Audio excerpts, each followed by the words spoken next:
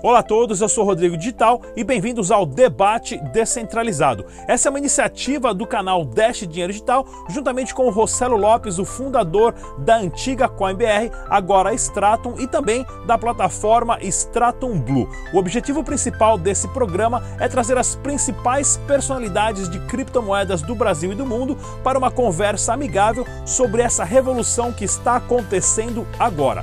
Deixe também nos comentários qual tipo de tema você gostaria de estar assistindo aqui no Debate Descentralizado e não se esqueça de curtir e compartilhar nossos vídeos. Mais uma vez, bem-vindo ao Debate Descentralizado. É isso aí, galera, no Debate Descentralizado de hoje, na nossa tela aqui com cinco cabeças, nós temos o Safiri Félix, ele que é diretor executivo da AB Crypto. Temos também o André ah. Horto, fundador do Bit, da exchange Bitcoin to You. Temos também o, Jorge Júnior, ele que é CEO da Red Cup Boss, né, uma empresa de música e educação financeira. E temos o Rossello Lopes, fundador do grupo Stratum. E no tema de hoje, diversificar ou concentrar em Bitcoin. Qual a melhor forma de alocar os recursos e também comparando um pouco né, o quanto de Bitcoin ou de criptomoeda você tem que ter no seu portfólio, comparando com o mercado tradicional. Vamos começar hoje com o Safiri Félix. Por favor, Safiri. Assim, eu gosto de usar algumas regras de bolso, né, principalmente para quem está começando no mercado. E a orientação que eu costumo utilizar é recomendar o seguinte: se a pessoa não conseguiu acumular pelo menos um Bitcoin inteiro, não olha para mais nada, se concentra nisso, vai lá comprando aos pouquinhos, nem que seja muito pouco todo mês mas vai formando é, aos poucos a sua posição, concentrando em Bitcoin. Aí eu entendo que, dependendo do, do nível de envolvimento que essa pessoa tenha com o mercado, da quantidade de tempo que ela quer se dedicar, se ela pensa em fazer um investimento de mais longo prazo, se ela está mais interessada em operar fluxo, aí talvez valha a pena começar a olhar para alguns outros criptoativos, mas sempre tomando cuidado de se atentar para o nível de liquidez, né? É, é, super comum quando você olha ali as grandes oscilações ao longo do dia, muitas vezes aparecem tokens que ninguém nunca ouviu falar e que tem uma liquidez super baixa, né? Então, quanto menor o volume negociado, mais propenso a esse token ser manipulado, né? Então, para quem está alocando capital, principalmente os iniciantes, é sempre muito importante se atentar para isso, né? Então, aí com o tempo o pessoal vai estabelecendo seus próprios critérios, né? Eu vou operar é, tokens que tem até um determinado nível de, de liquidez diária, eu vou me concentrar em protocolos de proof of stake voltados para smart contracts, vou, vou olhar para outros protocolos, para outros casos de uso. Regra, o que costumo orientar é isso, assim, até você ter o seu primeiro Bitcoin inteiro, se concentre em Bitcoin, vai fazendo seus aportes iniciais. Atingiu esse patamar, aí talvez, dependendo do contexto do mercado também, vale a pena começar a olhar para diversificação, especialmente se o Bitcoin estiver naquele momento que a gente chama de lateralização, né? Às vezes ele fica ali semanas operando dentro de um, de um intervalo de preço curto, aí geralmente são as janelas de oportunidade onde alguns tokens acabam desgarrando e valorizando mais que o Bitcoin. Mas, para sintetizar, eu não recomendo é, diversificação para quem está iniciando, e, e, também acho que quem opta por diversificar tem que entender que os outros ativos têm um nível de risco ainda maior do que o do Bitcoin. Então, eles têm que compor uma, uma parcela menor do seu portfólio para você evitar incorrer em grandes riscos de perdas. Uh, André Horto, fundador da Bitcoin to You. Então, nisso aí eu, eu, eu concordo com o Safira, tá? É, que para quem está começando, é, ficar focado no Bitcoin mesmo, investir só em Bitcoin. E aí, quando criar um pouquinho de, de experiência, de maturidade, aí pode começar a diversificar. Ah, mesmo assim, eu ainda recomendo que diversifique com outras criptomoedas que estão ali no top 10 ali, é, é, é, das mais negociadas, por exemplo, Litecoin, Ethereum, alguma coisa assim. É, o tema é, é bem é, é, importante porque tem muita gente que, quando vai começar, ele fala, pô, meu Bitcoin tá tão caro, 40 mil, eu tô querendo começar só com mil, será que não é melhor comprar uma moedinha mais barata, esperar valer o tanto que o Bitcoin vale? Essa pergunta é, sempre chega até a mim, então eu, eu, eu, discordo, eu acho que não é por aí, é, porque você pode investir em frações, você não precisa comprar um Bitcoin inteiro, você pode comprar frações de Bitcoin, então é, o ideal é que a pessoa realmente comece com Bitcoin, é, é mais seguro, tem uma liquidez bem maior que as outras moedas, então é, que comece com Bitcoin também.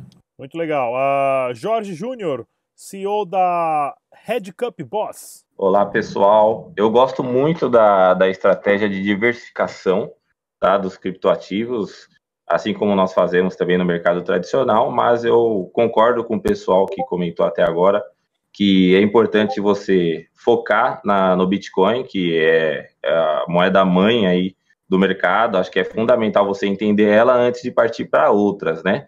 Mas a diversificação é legal por quê? Porque você acaba compensando perdas e ganhos no mercado se você é muito inexperiente. Claro, priorizando sempre ter um percentual maior, maior na, na, no Bitcoin e diversificando nas demais um valor menor, tá? Até mesmo porque a variação das demais, como já disseram, é uma variação muito superior, né? O risco é muito maior. Então a gente acaba colocando menos nessas outras moedas, mas acho bacana já para a pessoa ir se familiarizando e até mesmo o conceito de você fazer compras em diversos preços e diversas moedas faz com que a longo prazo, o longo prazo da criptomoeda, por sinal, é um curto prazo, é, faz com que daqui um, dois anos você possa ter aí um capital bem interessante para trabalhar dentro do mercado.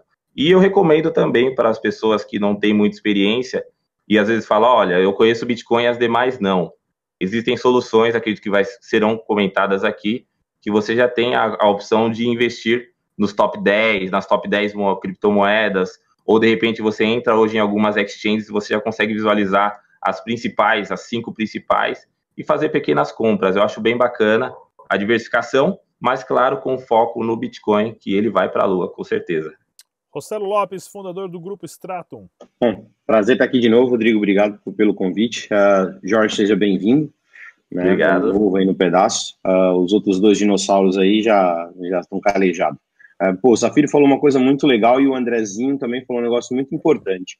Uh, primeiro, o Safiri falou que é justamente não tenho ainda, foca em ter o meu primeiro Bitcoin. Eu acho que é uma estratégia bem legal, até mesmo foca no primeiro. Beleza, já tenho o primeiro, já sei o que, que é, uh, e aí justamente é o que o André falou.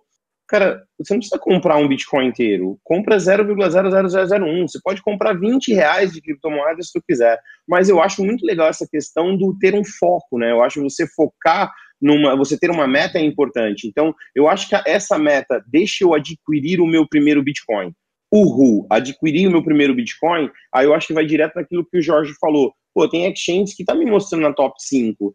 E aí tem que tomar aquele cuidado que o Safiri falou inicialmente. Pô, não é porque está lá dentro da exchange que ela é boa, porque se ela não tiver um volume muito grande dentro da, do, no mercado comum, então para quem não conhece, não tem um indicador, coinmarketcap.com, coincap.io, CoinGecko. Então você tem indicadores que vão dizer quais são as top 10 e tudo mais.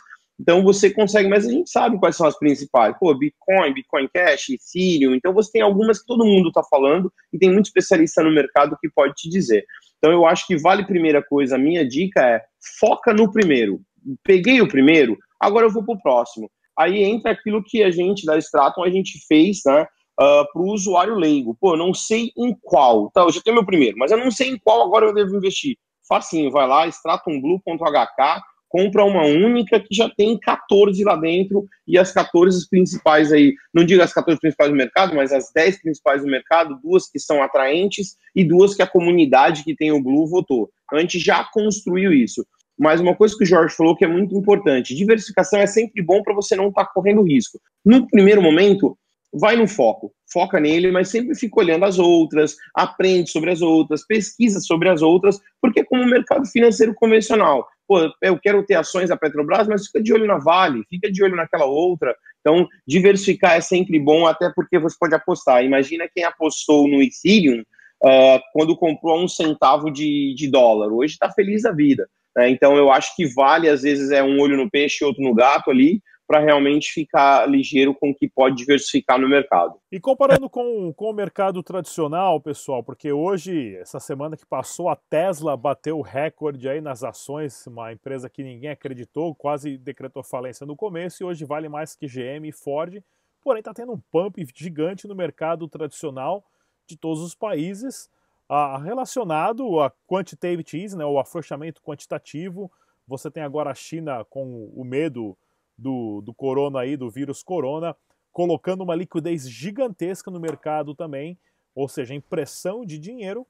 Quanto que as pessoas hoje têm que ter para quem investe no mercado tradicional e investe em e quer investir em criptomoeda? Qual que é a porcentagem que vocês falariam, vocês estão nesse mercado faz tempo, que as pessoas deveriam estar se baseando entre criptomoedas comparado com o mercado tradicional? Vamos começar com o, o Jorge Júnior da Red Cup Boss. Legal. Eu tenho uma, uma experiência no mercado americano e no mercado japonês na operação do índice futuro Dow Jones e do índice futuro do, do Japão, é, o Nikkei. Eu acho bem bacana, é, para quem é day trade e quer obter um lucro, um, um, lucro ou tem uma estratégia boa de mercado, é, é legal focar em day trade no índice futuro, porque independente das empresas que tem lá fora, nos Estados Unidos são mais de 4 mil empresas, no Brasil a gente tem 300 e pouco, 400 empresas, mas quando você opera um índice futuro de algum desses países, no day trade é muito rentável. Então, o que, que eu gosto de fazer? Acredito que seja uma, uma sugestão bem bacana. Eu gosto de fazer o day trade no mercado americano e no mercado japonês. No brasileiro também é possível, porque você alavanca lá 48, 52 vezes o valor que você opera. E eu gosto de fazer, montar minhas posições no, junto ao Bitcoin também, em paralelo a essas operações. Day trade eu faço no mercado, no mercado tradicional. E as minhas compras e apostas com metas de, de, de atingir algo maior, eu faço na criptomoeda, porque, como eu disse antes, o longo prazo da criptomoeda é, é um, dois anos, né? E o nosso e na bolsa de valores você tem lá é, 5, 10 minutos de operação que muitas vezes você faz 3, 4% em uma estratégia bem arquitetada ali dentro da operação de day trade. É sem contar as limitações da bolsa de ser de segunda a sexta das 8 às 5, digamos assim, né? Os Exato. horários restritos. Ah, André Horto. André Horta. Horta, desculpa, Horta. Isso. Então, é, eu sou um cara que, que não tinha investido em, em bolsa ainda antes de conhecer o Bitcoin. Então, comecei investindo em cripto. E depois eu fui para a bolsa, brinquei um pouquinho ação, ações brasileiras, tá? Só, só, só Big, só Itaú, Petrobras, Vale. É, ganhei um dinheirinho na Vale quando aconteceu esses problemas, ganhei um dinheirinho também na Oi. Mas parei com, com, com mexer com bolsa porque eu vi que é, é, eu acredito nisso. Você tem que investir naquilo que você conhece. É, aquilo que você conhece é provável que vai te dar mais retorno. A chance de você errar é menor. Então, hoje eu sou, eu sou um cara que está 100% alocado em cripto é, e 99% em Bitcoin. Então, é, eu, eu prefiro, eu, se fosse fazer uma recomendação, recomendar a pessoa em cripto por vários motivos. É, uma que ele, ele não fica sujeito a algumas turbulências de um só país, né? Então, por exemplo, é, é você investe, por exemplo, na Petrobras, você está sujeito ali a, a, os problemas em si de uma Petrobras, de uma empresa estatal, por exemplo. E com Bitcoin, não. Isso, isso não acontece. É, então, por isso que eu, eu, a minha recomendação, a minha é de ficar em cripto. É, a minha experiência foi muito melhor em cripto, os retornos, etc., do que em mercado tradicional. Safiri Félix, é, eu acho que eu queria comentar um pouco o que você falou sobre a Tesla, enfim, sobre essa distorção de preços que a gente vê por todo lado quando a gente olha para o mercado convencional, né? Acho que no caso da Tesla, e o que explica também o valuation de vários dos unicórnios aí ao redor do mundo, é uma premissa nova para quase todo mundo que estuda é, mercado financeiro há mais tempo, que é a questão que o lucro está fora de moda agora, né? Parece que quanto mais prejuízo a sua empresa conseguir dar, maior vai ser o seu valuation. Quer dizer que você está queimando muito caixa para adquirir novos usuários, na esperança de que talvez um dia você se torne um monopólio, né? Essa é a premissa básica de todos esses, esses unicórnios, esses grandes exits que acabavam acontecendo via é, IPO, né? Essa mesma tese se aplica a Uber, Airbnb, WeWork, yeah. enfim, Tesla, então, isso, isso é uma, uma, uma, decorrência direta da impressão desenfreada de dinheiro do quantitative easing, né? É, hoje, os, os, grandes investidores internacionais, eles conseguem se alavancar a um custo muito próximo a zero, né? Então, em última instância, está literalmente imprimindo dinheiro para pessoas que já têm muito dinheiro conseguirem fazer mais dinheiro ainda, né? E tudo isso às custas do contribuinte, que no fim é o que está tendo o seu poder de compra consumido ao longo do tempo. Então, dentro desse contexto, o, o, o Bitcoin, principalmente, é fundamental em todo qualquer portfólio bem diversificado, né? É o que pode proteger o seu poder de compra ao longo do tempo e tem tudo para ser um instrumento de transferência de riqueza de uma geração para outra aí nas próximas décadas, né? Mas a, a, a, recomendação que eu costumo fazer é que a, ninguém deve mergulhar de cabeça em nada. Eu sou contrário a, a, esse tipo de abordagem, porque a perspectiva de alguém novo entrando em qualquer mercado, se essa pessoa for com muita sede ao pote, a chance dela se machucar e perder dinheiro é, tende a zero, né? Existem vários estudos aí que apontam que 90% dos day traders são perdedores, deixam dinheiro para trás. E as próprias corretoras elas são muito eficientes na sua mecânica de ficar estimulando, principalmente os novatos, a ficar girando carteira para gerar corretagem.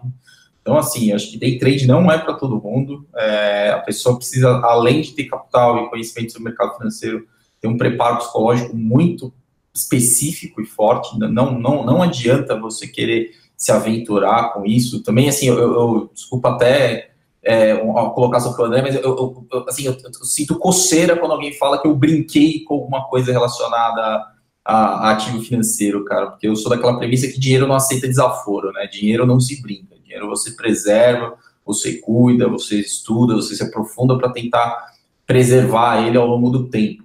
Então, eu acho que day trade é algo para quem já tem, é, já foi iniciado nisso de alguma forma, seja profissionalmente ou porque estudou, enfim, percebeu rapidamente que tem leva jeito para coisa, assim. E eu acho que também precisa ser muito ponderado o, o custo para você fazer esse experimento, né? As histórias de pessoas que perderam tudo, e isso acaba gerando depois problemas familiares, problemas familiar, familiares, profissionais, enfim. Acho que a pessoa tem que se concentrar em fazer a sua atividade profissional da melhor forma possível, conseguir também poupar o máximo possível dos seus recursos e pensar na construção de patrimônio como uma, uma maratona, não uma corrida de 100 metros, né?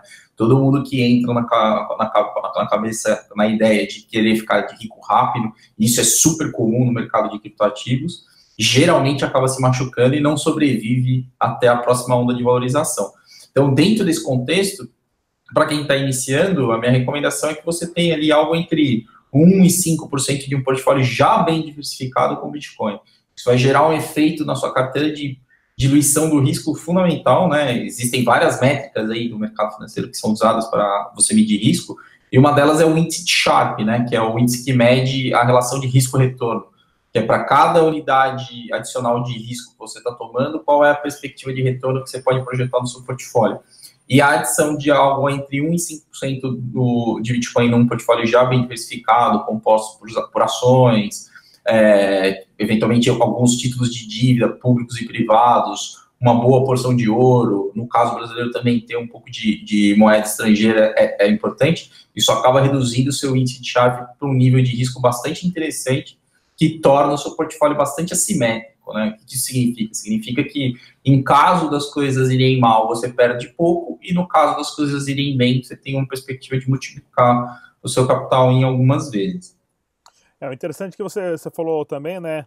Que é, que é bom a gente comentar sobre a impressão desenfreada de dinheiro. Nos Estados Unidos, aqui, é, o plano de reforma tributária que aconteceu do Trump foi de nada mais, nada menos forçar as empresas que economizassem dinheiro a usar esse dinheiro para comprar as próprias ações, né, no famoso buyback que, eles, que existe aqui, inflando mais ainda o preço das suas próprias ações. Né? Isso vai terminar de uma forma muito triste e muito em breve. Rosero Lopes. Bom, uh, eu sou do, do, time do Andrezinho também aqui, eu sou 99% em cripto, né? eu, eu fiz experiências com, com, com bolsa, eu conheço, sei como operar, Uh, mas o dia que eu fui mordido pelo, pelo, pelo bichinho do Bitcoin, pronto, ali eu já entendi que a potencialização é muito maior do que qualquer outra coisa. Né? Além de tudo, não tem, é, né? 24 por 7 o negócio, global, então uh, me permite atuar em vários mercados ao mesmo tempo.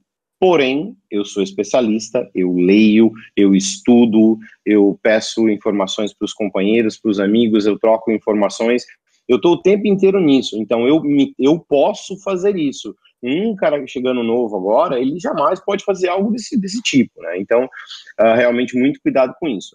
E aquilo que, que, que, o Rodrigo falou, pô, da Tesla, tá super valorizada, é a mesma coisa que o Safiri falou. A gente vê esse, essas empresas, a supervalorização, mas quando tu vai olhar realmente como é que tá o caixa, como é que ela tá faturando, a conta não fecha, né? Como é que pode uh, o Airbnb ou e esse e até mesmo unicórnios, né? Brasileiros aí, operação do, do Nubank, do C6, entre outros que estão aí, eu acho que está na moda. Então, eu tô pensando no seguinte, cara, vou começar a chamar investidores para Stratum, começar a dar preju prejuízo, quem sabe eu viro um unicórnio, né?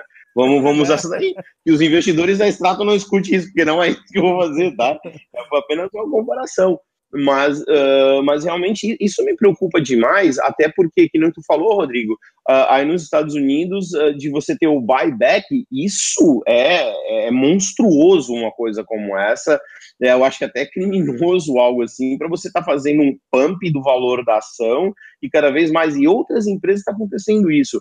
Então, até mesmo o fato de bolsa de valores, uh, algo que me assusta muito é que você vê, às vezes, empresas fazendo pump em outras empresas para fazer essa empresa ficar super gigantesca e aí a gente vê um dump e quem paga a conta no final, cara, é o investidor que entrou lá de gaiato. Então, uh, de, o que o Safiro falou, day trade, toma cuidado. Não pense você que você vai virar um day trade e tá tudo bem. E uma coisa muito importante, né?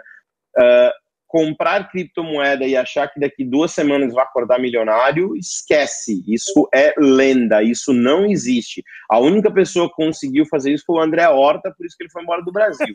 né? Então, uh, mas brincadeira à parte, não é assim que acontece.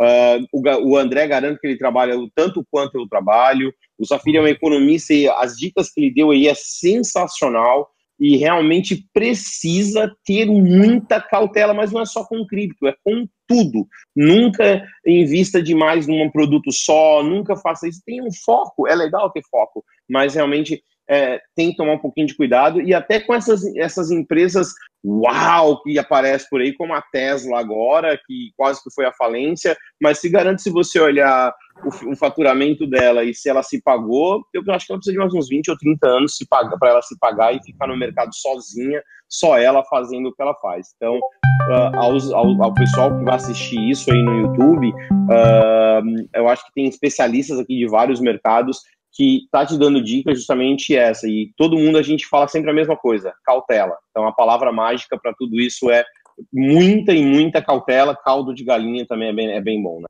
É, pessoal, realmente tem que tomar muito cuidado. Ninguém vai ficar rico ou milionário com criptomoedas da noite por dia. Né? A dica é sempre é, bem simples. Sobrou 200 reais, sobrou 500 reais, sobrou mil reais, sobra. Vai comprando, vai acumulando, vai guardando.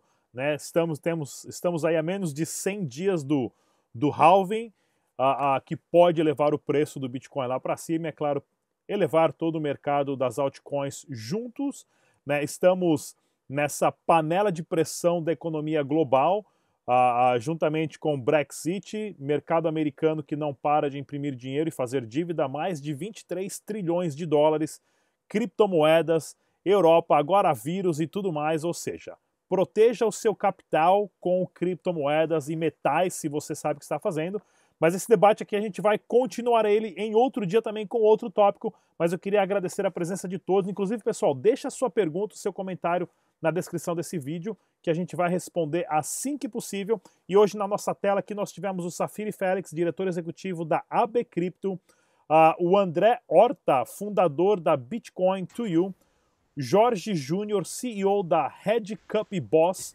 Música e Educação Financeira, e Rossello Lopes, fundador do Grupo Stratum. Vou deixar o link a, a, de todos aqui na descrição desse vídeo. Mais uma vez, esse foi o Debate Descentralizado. Até a próxima, pessoal. Tchau!